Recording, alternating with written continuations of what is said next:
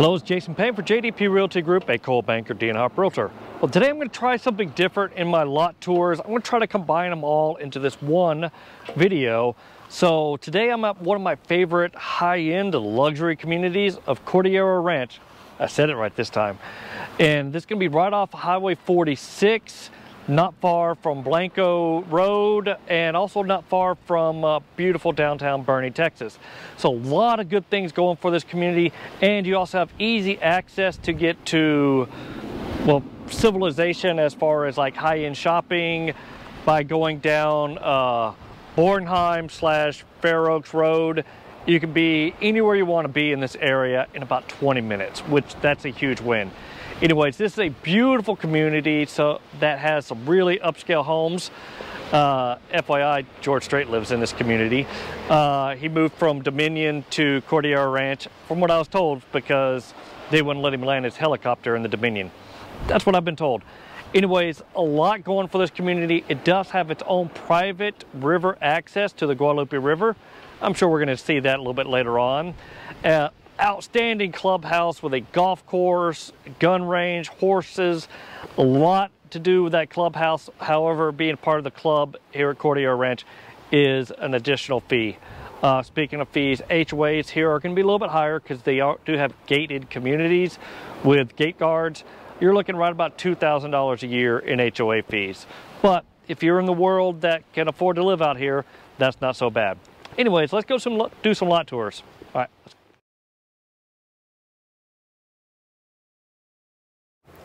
All right, the first lot we're going to do today is a uh, lot 76 Sun River. It is a 2.37 acre lot, and as of late October 2021, they are asking 299K for it. Let's go check it out. It is a beautiful day in Texas. This is on one of kind of side roads, so you're not going to see a lot of traffic. The lot's going to go from where my truck is at to where you see this electrical box and then go back quite a bit let's kind of see what the uh, immediate neighborhood looks like. See a couple houses in the distance. Now, um, if I'm reading the maps right, um, this neighborhood does require a 50 foot natural vegetation setback. That's why you see it all kind of grassy and uh, the regular underbrush kind of up in front. They don't want you to clean cut everything in the first 50 feet of your lot. All right, let's go back in the woods here and uh, see what we see.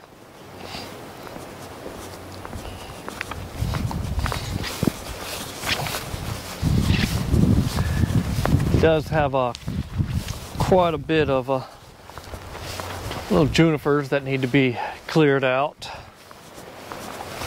This lot does slope from the front to the rear. So if you did build on here, unless I find a really big flat spot up top, you will have stairs in the front and some foundation up the front of the property. Because yeah, this is going up pretty good.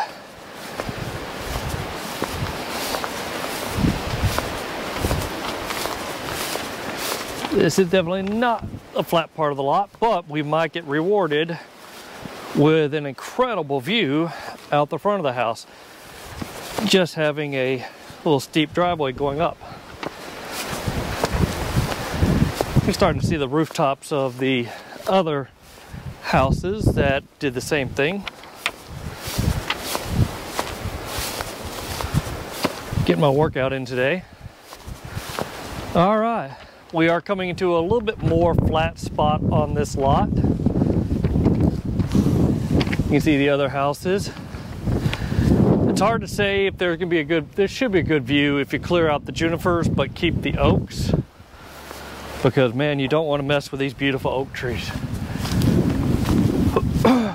so there is a potential for a nice view out the front, peeking through the trees. But it's a pretty good driveway slope going down. Figure out how you'd want to carve your driveway out of the property.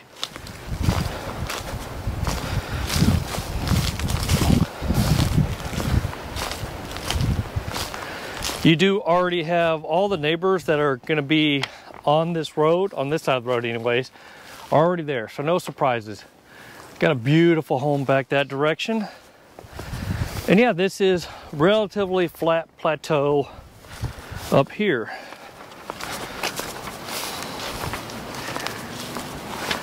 I didn't check to see what exact direction we're facing, but it's 1245. The sun's just a little bit, I'm not gonna show you straight in the sun, but that direction. All right, let's follow this game trail to see where we're going.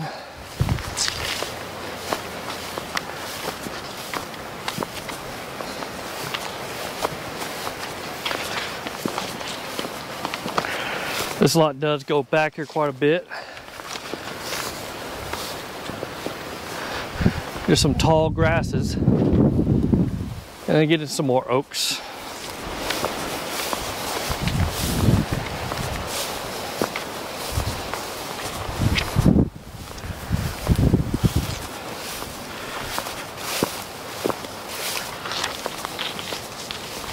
All right, we might be Judging by where that lot is ending with their fence, this is probably the back part of this lot.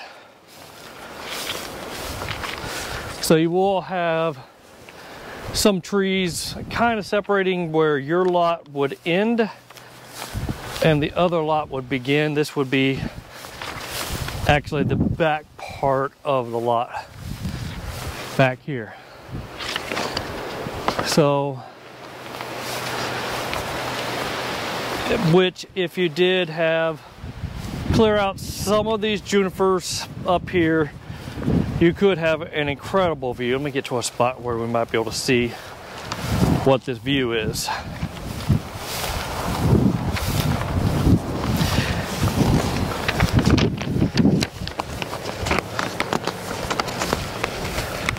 Sorry I'm trying to find out how long this house this lot's been on the market. Oh only 20 days.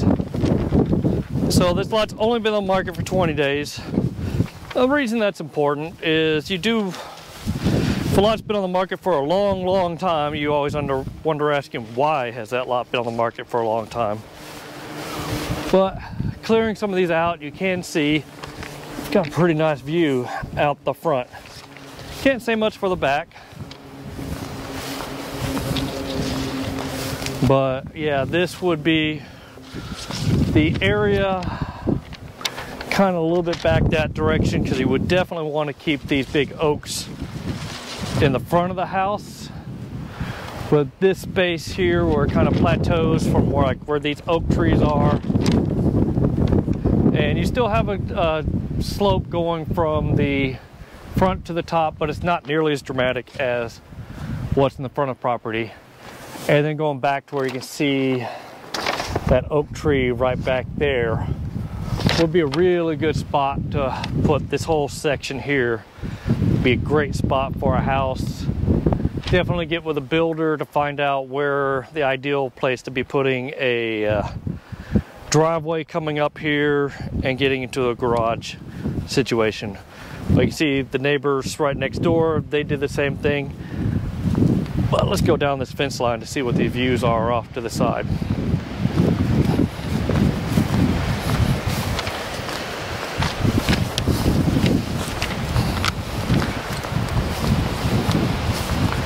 Because yeah this is still the property line. There's my truck where I mentioned earlier where this property cuts off at. So yeah you could have your driveway coming up this direction here and then slide into the side of the house and uh, have this little space. And this would be really neat clearing out some of these junipers and having uh, a little bit better view. I can't say it'd be unobstructed view unless you cleared out all the oaks, and I would never recommend that.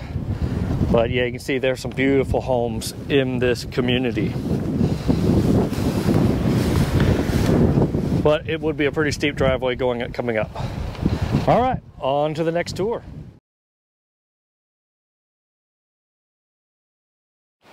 All right, now this lot behind me is lot 14 on Riverwood. This is in the main section of Cordillera Ranch.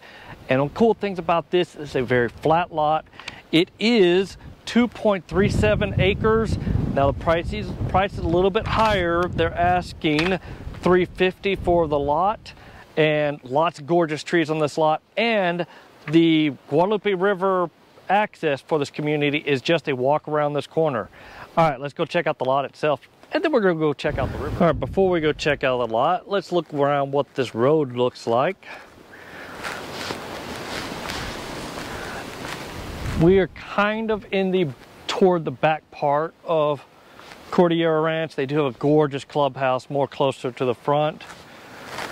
But you can see there's not a lot of neighbors around. Right around this bend is where the small road leading to the Guadalupe River's at. But let's see if we can kind of see what the house across the street from this property looks like. Absolutely do love this community. Very upscale, guarded mm-hmm, gates around the house, all around this community. But yep, another beautiful house across the street from it. All right, let's go check out this lot. All right, we got to a little more of a clearing spot. I walked myself into a space where I'm like, okay, it's getting hard to walk out of here. But this is a beautiful lot. And I guess the seller knows it. That's why they did the asking price of 350. But that doesn't necessarily mean that's what you have to offer it. But it is a almost two and a half acre lot.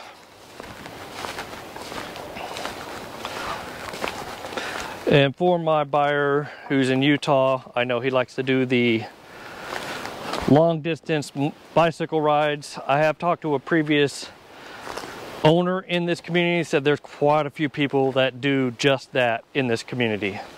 So linking up with folks to do that would be very easy. There's the house next door. So you can see them a little bit from this spot of the property. But when I do my driving tour of this community, there are a lot of drop dead gorgeous mansion-esque homes out here. Yep, I'm calling that a word, mansion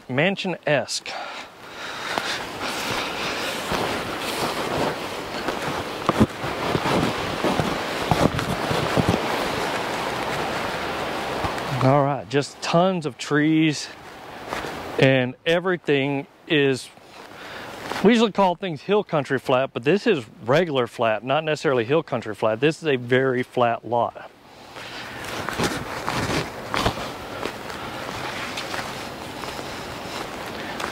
All right, coming back up towards the road.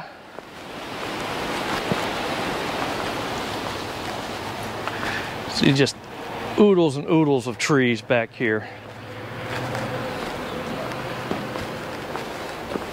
All right, I promise we're gonna take you down by the river because this lot is probably a eight minute walk to the river. So uh, yeah, let's go check that out.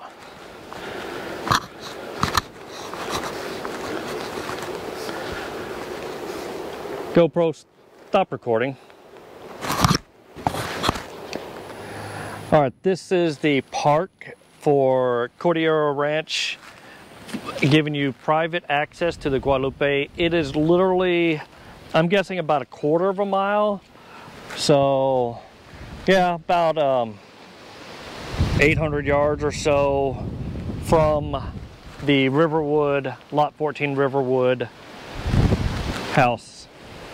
So yeah, just a, maybe a 10 minute walk, if that, to get to this park area. See lady out here doing her morning walk.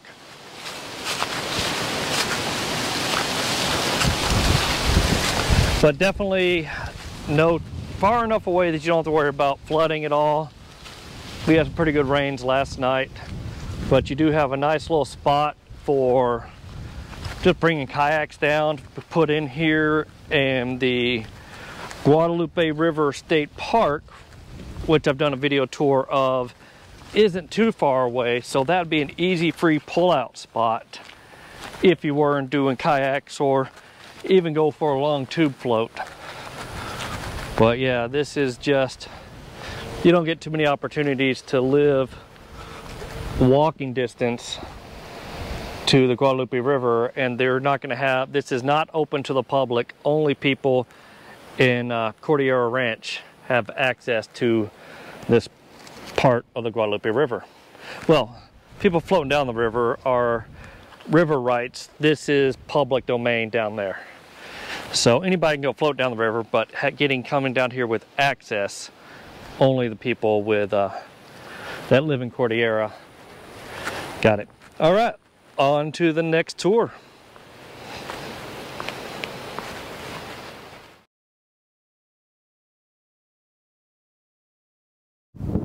All right, for the next stop on our tour, we're in the Cordillera Springs section, which is just across the street from the main uh, community. The lot we're going to look at is lot 10 on Legstone Trail. This is the smallest lot we're going to see today. It is 0.89 acres, so a little bit less than an acre, but they're only asking 194K. It's an irregular shaped lot. Let's check it out. All right, this is going to be more of an irregular shape. It's going to be a pie kind of spot. So you can see you have a narrow entryway. So if you did select this lot, you pretty much have a driveway and you're going to go in back. And uh, it's not a bad lot. The sun will be setting back over this direction so it would not be setting on the back of the house which of course I prefer I can hear a little bit of road noise because you do have Bergheim Road not too far from here.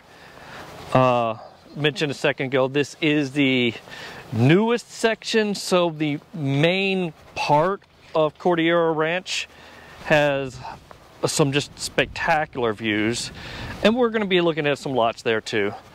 But this is the least expensive lot that's also not currently owned by a different builder. But this is, uh, they also have a 100 yard setback requirement to build in this community.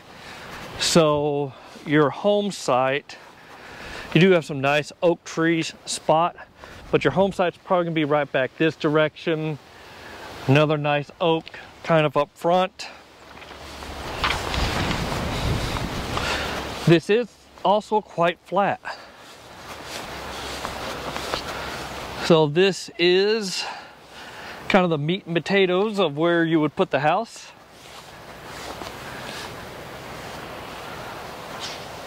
Yeah, there's your 100 foot. Here's your space. Still quite quiet, light breeze. It is a gorgeous day in Texas today. Doing this for my Utah client who's already dealing with snow in uh, Utah and as I'm filming this we're in late October. No snow in sight. We got like a 65 to 70 degree day going today. It is perfect. All right. Well the lot continues a little bit back further this direction. Like I said it's an irregular shape almost a full acre. So uh, yeah let's head on to the next lot on our tour.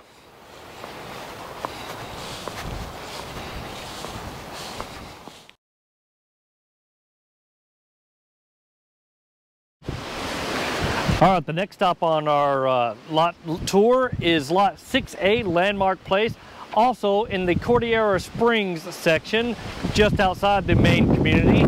And this kind of on a little roundabout, and right behind me is the lot. Let's go check it out. Not a lot to see on this side of the community because it has not been open all that long, maybe a couple of months. But a lot of spots in Cordillera Ranch, they do have these little trails just behind this little, I'm not even sure what that is. But uh, you do have some trails that go back there, and this is the lot we're talking about. All right, let's go for a walk through this lot. Now the winds have picked up a little bit. I hope uh, you're still picking up. You do have some houses over there uh, off to the side. But this is uh, definitely a little topography difference on this side. I think the other, the main portion's got a little more topography on it. But this is a really flat lot. Like I said, it's just over two acres and they are asking 325 for this lot. Some nice oaks up front.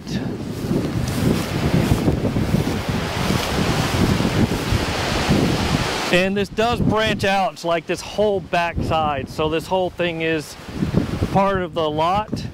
And the sun does set, would set on the back porch because west is kind of that direction and this is would be like the back part of the house. But this is a really flat spot to be building on. You could have these trees surrounding you.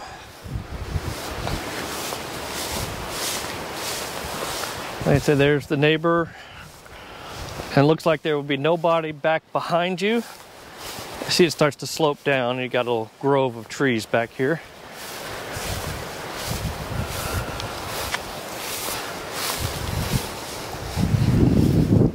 But yeah, if you definitely, if you're looking for some space in between houses, this is a really good spot. My personal thing, I do like the main section of Cordillera Ranch a little bit better than uh, the new Springs part. But that's my personal opinion. All right. And it looks like the property line stops just past kind of where this first row of trees are at.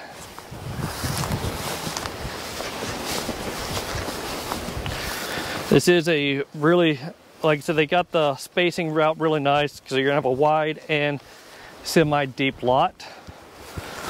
But yeah, your property line is gonna be right past where this first row of trees are at, but go a little bit further down this direction. So definitely gonna have some nice uh, space back here to do whatever you want to do. Let's see what's back down this direction. Looks like a little ravine for drainage down there, yep. So this drops off pretty significantly at the back edge of the property and there obviously would be nobody building back there. I think that little post, yeah, that post you see kind of way back on the other side of where the water drainage is the corner of the property.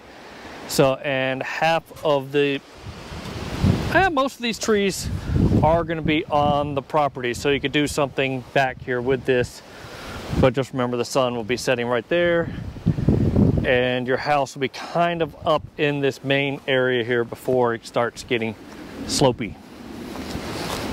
Because right now I'm going back uphill to more of this flat space.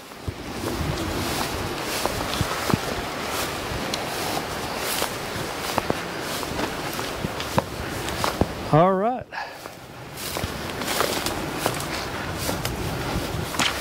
Let's see what else we can find.